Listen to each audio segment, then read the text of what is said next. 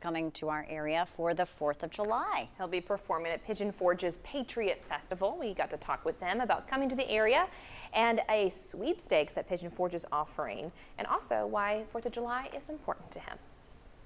I'll be there uh, in Pigeon Forge, um, you know, playing my show. We, we've had this uh, sweepstakes that we've uh, put out and we've had, you know, all kinds of people uh, take interest in it, and uh, it looks like it's a pretty fun package to win. And so, uh, you know, I'm excited for whoever ends up, you know, taking part in that, and uh, looking forward to meeting them.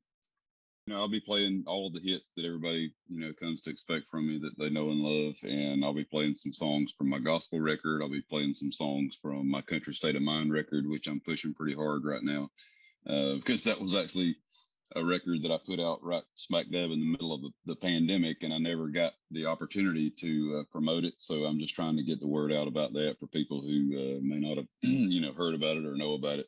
So uh, yeah, there's going to be a little bit of something for everybody, and we're going to have a great time.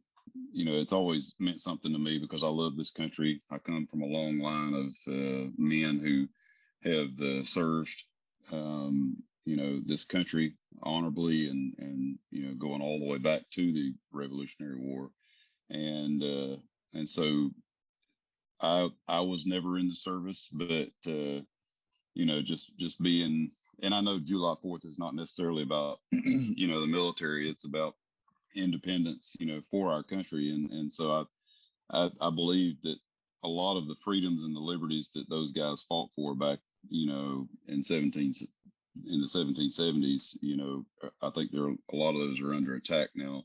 And so I just try to lend my voice, you know, by way of, of, you know, singing and country music and the way I carry myself, the way I conduct my business.